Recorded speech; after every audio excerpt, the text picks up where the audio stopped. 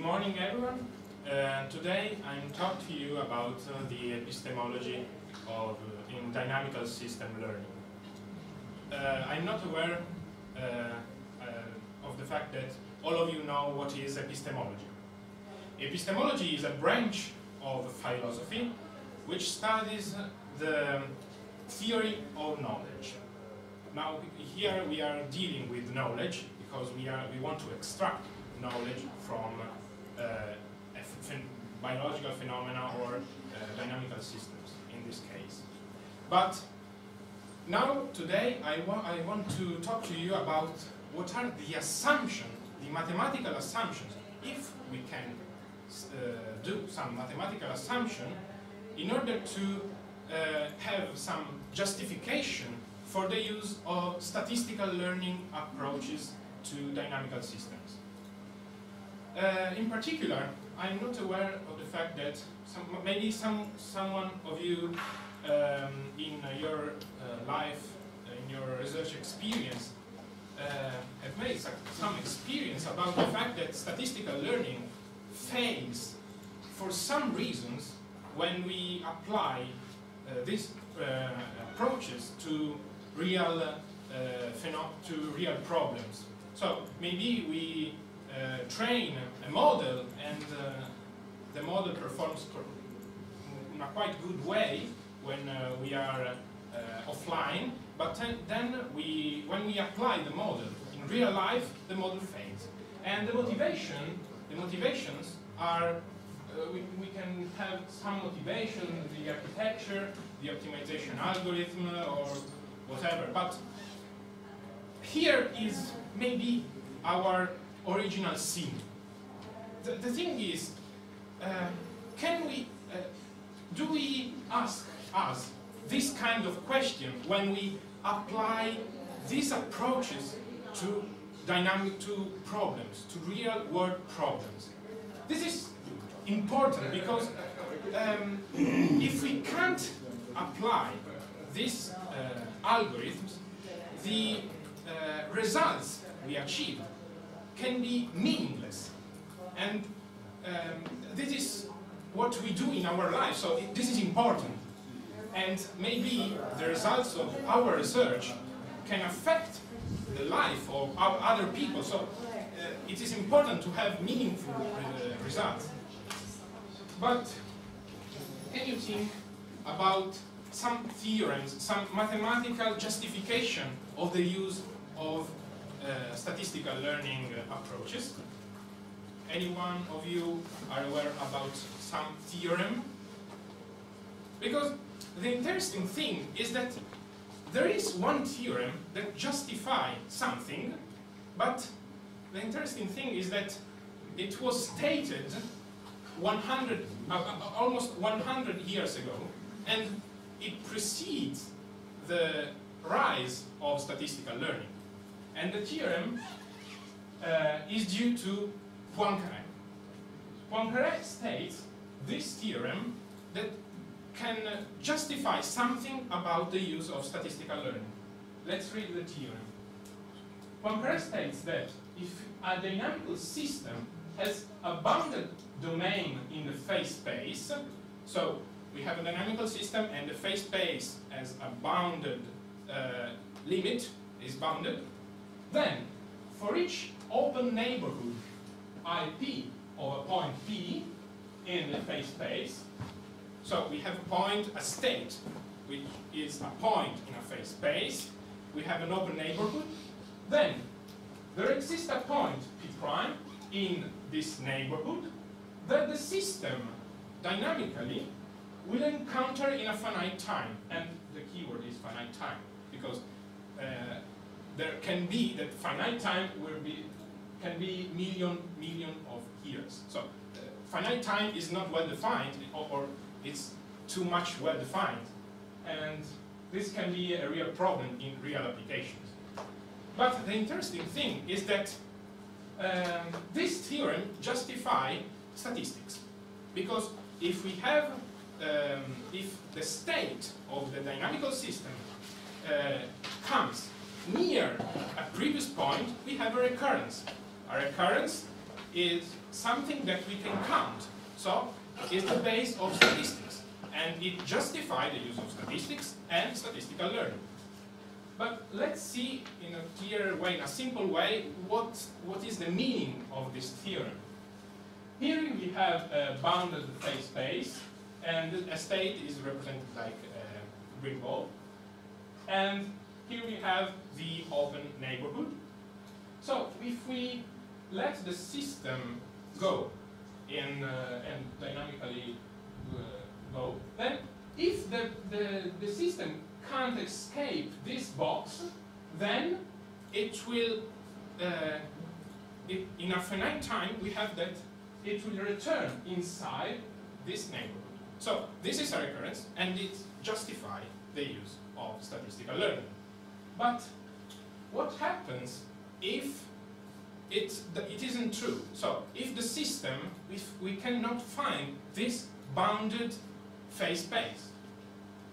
So here's the same phase space, but, that, but now the system dynamically escape and we are not able, we are no more, more able to have recurrence because we are, we have lost the, the, the state of uh, information about the state of the system.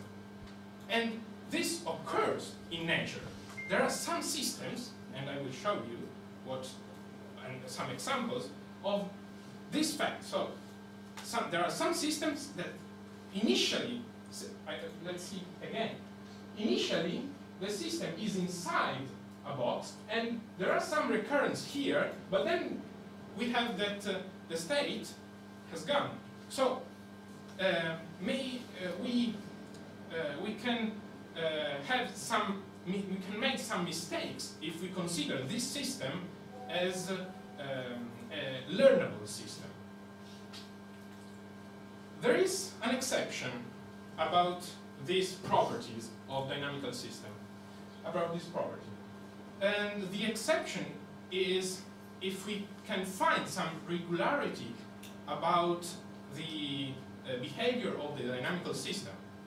If we have, for example, some periodicity, if we can observe uh, periodicity of the behavior of the, of the dynamical system, then if we are able to observe the initial phase, we can make a strong assumption that if the system continues to behave in this way, then we can learn something.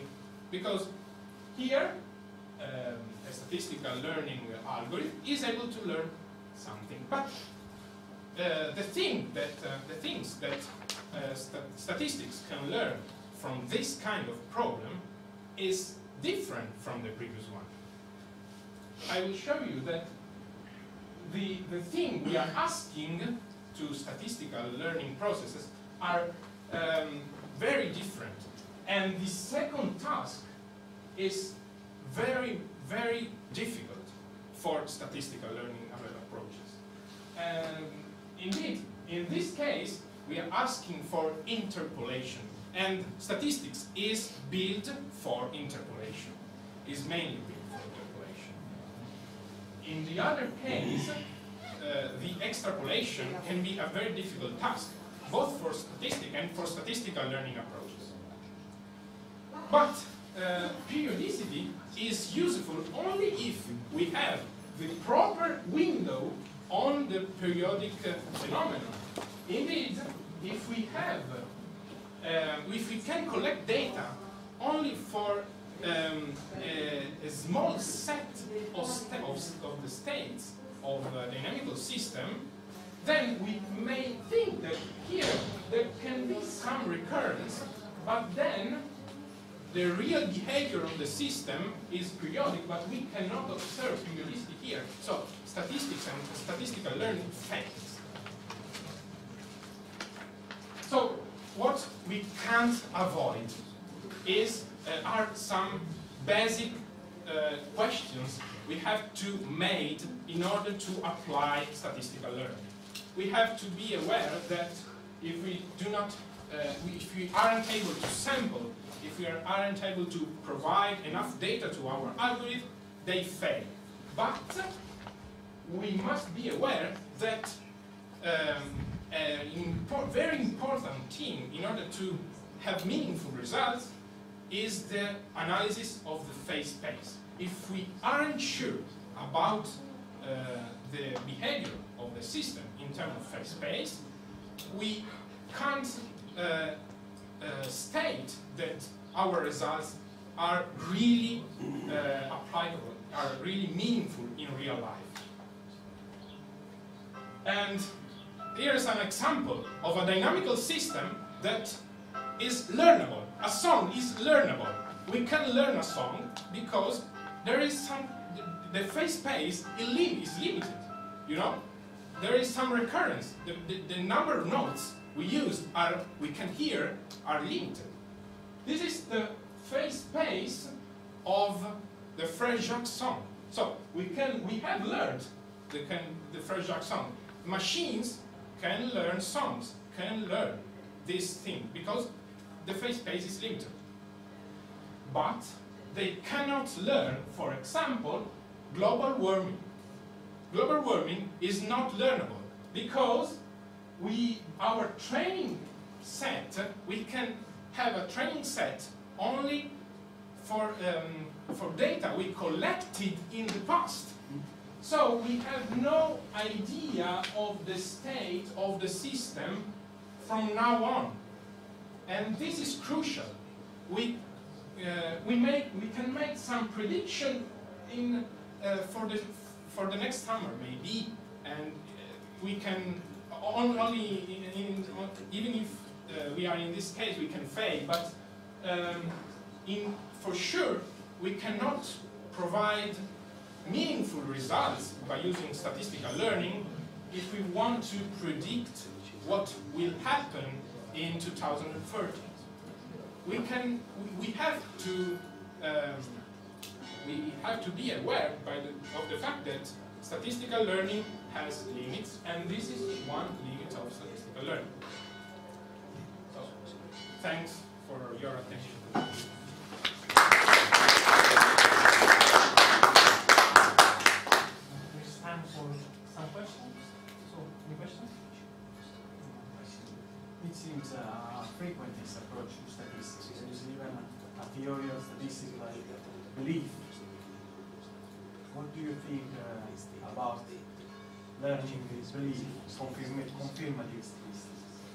Yes, it is, it is difficult to um, uh, have a belief on what will happen in 2030. So, uh, what is our belief? So, some meteorologists can, can say that uh, the, temp temp the, the, temperature will grow or will be stable or will uh, go down. But what is the, the, real belief? And how can we uh, how can we trust one of these models? Also, belief networks are another way of stating the state of the knowledge. But basically, they are exactly the same problems. When you do time series analysis, you are finding for regularities, trends, and so on. If not, you cannot obviously forecast correctly in a very large window. Maybe better than that. Yes, yes, it's better than an analysis, sure. but, but uh, we have to be aware of series analysis, for example. Yes, a consideration, uh, probably you, you see statistic analysis and uh, like uh, the correct point, uh, the, the correct answer that uh, have, but um, probably the learning is something that you uh, that give you far to the real solution, not uh, in real solution Exactly. So, um, what about uh, the, uh, the near, the closely of the, the, the yeah, yes, the, because you when you learn something, you you don't have exactly yes, all. of course. but you, you you don't near to the solution. Yes, even if even in the Poincaré theorem, uh, the state returns in a neighborhood, not, not exactly in the same state of the previous uh, of the previous state, but near the, the previous state. So we can learn if we uh, return near the previous state. But uh, if we if the system uh, is going uh, in some strange position, we cannot observe. Uh, the, the statistical approach is meaningless. I think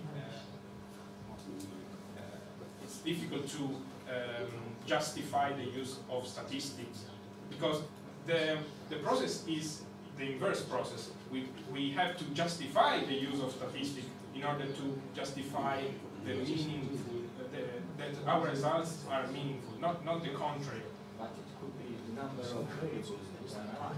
I mean, the number of variables that you analyze that give these. Yes, yes, of course. Sort of. Consider that some in Probably some the cases. more Also, the state, the phase space changes. Yes. Yes, but consider, consider for example temperature of uh, the, this uh, um, the temperature of the future years. So uh, if you want to know what will be the temperature, the, the variables are, the variable is temperature. We, we, how can we collect data of uh, 2030? It's difficult. So there are some problems in which the variables are that course, and consider also that in some cases we cannot collect some variables. For example, the, the, the temperature inside the sun. We cannot collect that temperature. So there are the variables we can consider uh, depend on also by human ability of collecting result, uh, variables. So Basically, what has been found is exactly what we know. The importance is the point of departure of this. It is the fact that we use uh, this approach using the Poincaré theorem in order to understand some phenomena. For example, unsupervised neural networks. In general, they interpolate, not in the sense of numerical algorithm, in the sense that you remain in your domain. Extrapolation only a very, very few neural networks do it. For example, the curvilinear component analysis neural network is able to extrapolate according to some, to some shapes of data. But there is no theory about this extrapolation. So it suggests how to deal with these problems. So it's uh, a- another approach that is uh, proposed because everyone knows uh, what are the limits of time series analysis and so on. So this is a new theoretical tool in order to uh, formalize what we know as neural experts in our common sense. Sort of saying there is no enough variables for Yes. analyze this problem. But Because with these variables, the problem go away. Yes, but it's another way to find a formalism to understand this. So this is not a, something with a final result. It's a, a suggestion for new researches and for new theories and so on. Yes, exactly.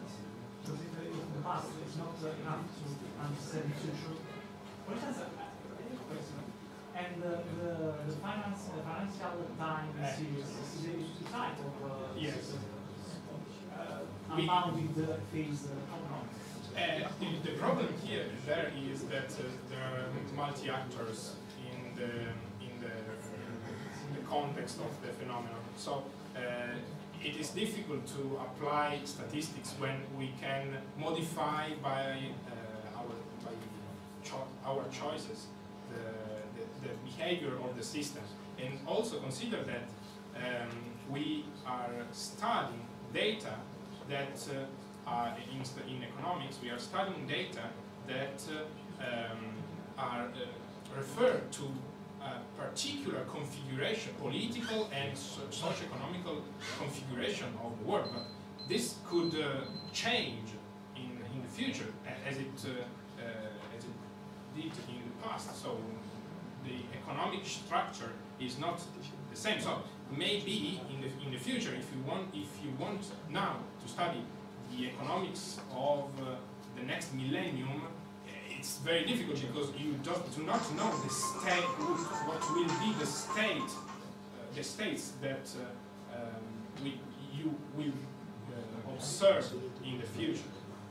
And the The boundary condition. are Yes, the boundary conditions are, not defined, so Yes. the problem is not uh, learnable. Okay, thank you very much.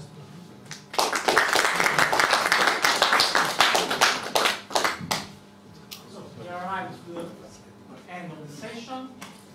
The last uh, but not least presentation is uh, uh, evaluation of the support vector machine based method for Crohn's disease classification.